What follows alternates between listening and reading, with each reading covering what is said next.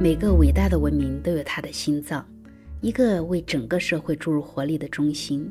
对于曾经统治南美洲西部大片区域的印加帝国来说，这个心脏就是库斯科，一座承载着帝国荣耀与灵魂的古老城邦。大家好，我是劳拉，今天让我们一起走进这座神秘的古城库斯科。库斯科坐落在秘鲁东南部安第斯山脉的高原盆地中，海拔大约为三千四百米，四周群山环抱。有意思的是，它的海拔和我们中国的香格里拉差不多。如果你在香格里拉没有什么高原反应，来到库斯科可能也能够很好的适应。不过呢，每个人体质不同，来这儿还是要多休息，让身体慢慢的适应高原环境。Gusgo 这个名字来自克丘亚语，意思是世界的肚脐或者是宇宙的中心。克丘亚语曾是印加帝国的官方语言，现在安第斯地区还有不少人仍在使用。库斯科在西班牙语里有两种拼法，Cusco 和 Cusco，他们在历史上曾经都使用过，现在也仍然被官方都许可，所以你来到当地，可能两种拼写都会看到。库斯科的历史其实比印加帝国还要久远，但是它真正的辉煌是从15世纪印加人崛起开始的。1438年，帕查库特克国王开始了大规模的扩张，把库斯科打造成了印加帝国的政治、宗教和军事中心。库斯科成了四方之地的核心，帝国的势力范围横跨现在的厄瓜多尔、秘鲁。玻利维亚、智利北部和阿根廷西北部。十五世纪末到十六世纪初，印加帝国在南美可以说是风光无两。当时的库斯科布局很特别，是按照天体运行来设计的，以太阳神崇拜为核心。城里的建筑充满象征意义，比如神庙和宫殿墙上镶嵌的黄金，那表示对太阳的崇敬。想象一下。当阳光照在那些闪闪发光的建筑上，那场面肯定是壮观极了。不过，一五三二年，西班牙征服者弗朗西斯科·皮萨罗带着军队来到了秘鲁，带来了印加人从来没有见过的火枪、大炮和马匹。有些印加人还以为他们是神的使者，这种误解导致了最初的犹豫。碰巧的是。当时的印加帝国正陷入两个王子瓦斯卡尔和阿塔瓦尔帕争夺王位的内战，再加上西班牙人带来了天花等疾病，这些因素大大的削弱了印加帝国的实力。一五三三年，西班牙征服者皮萨罗绑架了阿塔瓦尔帕王子，尽管收到了大量赎金，最后还是把他给处死了。另外一位王子瓦斯卡尔也死于西班牙人带来的天花。这让印加帝国群龙无首，西班牙军队趁机轻易地进入了首都库斯科，结束了印加帝国的统治。不过，勇敢的印加人并没有完全的屈服，他们发起了多次起义，其中最有名的是直到1572年才被镇压的威尔卡班巴抵抗运动。库斯科在西班牙统治下经历了将近三百年的殖民时期，直到1824年。秘鲁独立后，库斯科才结束了被殖民的日子，成为秘鲁的一部分。从那以后，它慢慢发展成了重要的文化和旅游中心。在殖民时期，西班牙人拆掉了一些印加建筑，在原址上建了欧式教堂和他们的府邸。最有代表性的就是武器广场上的库斯科主教座堂，它建于16世纪中期。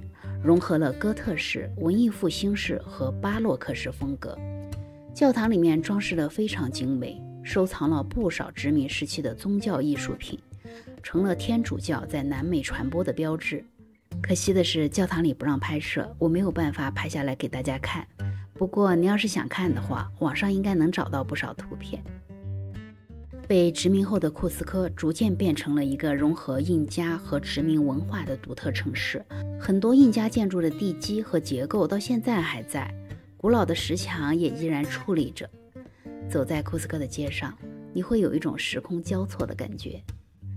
在库斯科老城的街道上，藏着一块不起眼但却很神奇的石头，它也是吸引我到库斯科来的原因之一。它就是大名鼎鼎的十二边石。这块石头见证了印加文明的辉煌，也让现代人充满了想象。大约在15世纪中期，它被嵌进了罗卡宫殿的外墙。经历了印加帝国的兴衰和西班牙殖民时期，甚至在大地震中，它都幸存下来了。这块重约六吨的石头以它十二个精确切割的边角出名。它用的是印加人的干砌法，就是不用任何粘合剂，纯靠精湛的切割技术实现了无缝拼接。这是连一张纸都塞不进去的真正的无缝。石块的形状和摆放方式都经过了精心的设计，确保重量均匀的分布，让整面墙更加的稳固耐用。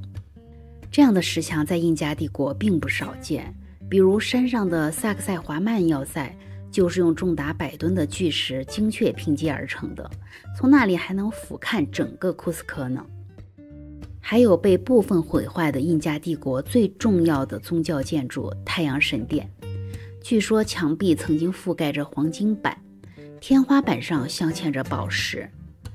在印加人的宇宙观里，黄金代表了太阳和天界，很多印加的传说和神话都跟黄金有关，比如黄金之国的传说。在印加文化中，黄金被看作是太阳神阴地的汗水或化身，象征着神圣和永恒，是连接人间和神界的媒介。黄金主要由印加皇室使用，象征他们的神圣地位和权力。印加皇帝被称为太阳之子，经常带着黄金饰品。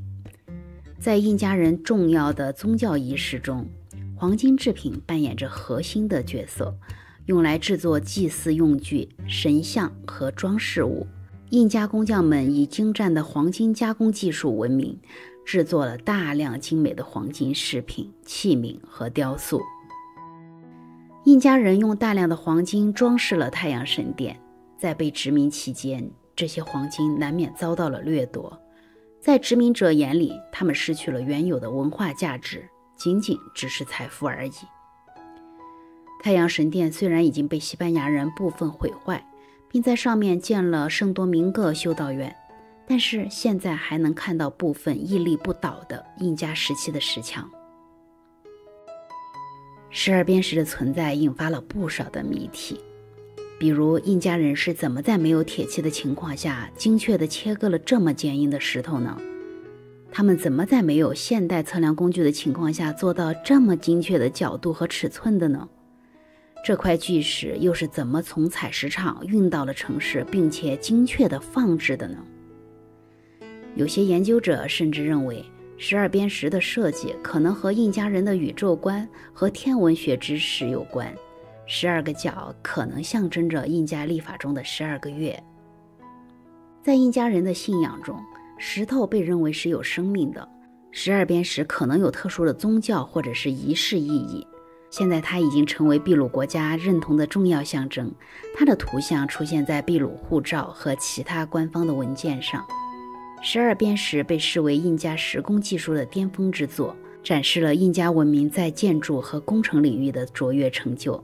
它不仅是一件精美的艺术品，更是人类追求完美的永恒象征。当我们站在这块石头前，仿佛在和历史对话，和古老的文明产生共鸣。它提醒我们，人类的创造力是无穷无尽的。你看，这经过了多少年，经过了多少的磨难呐，这些地震呐，这什么的，各种损坏。那这些凸起是干什么的呢？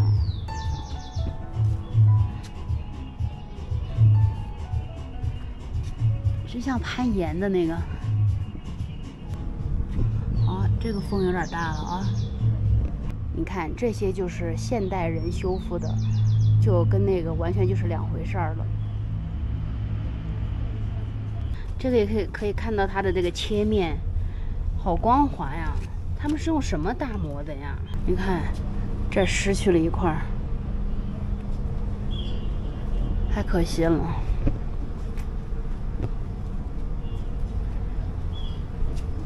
哎呀，这个也是太可惜了。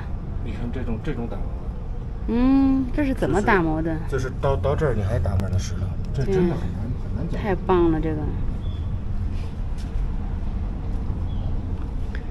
哎呀，好可惜啊，变成这样了。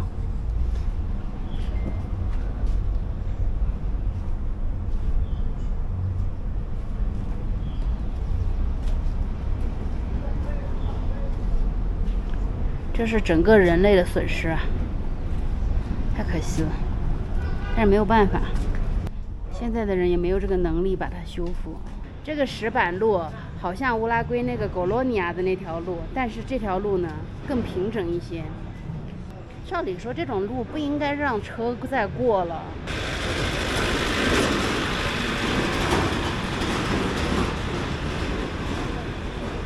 看这些路都被压成这个样子，好可惜哦。一九八三年，库斯科被联合国教科文组织列入世界文化遗产名录，成为人类共同的珍贵财富。这座城市以它悠久的历史、独特的文化融合和令人惊叹的建筑遗产，继续吸引着来自世界各地的游客。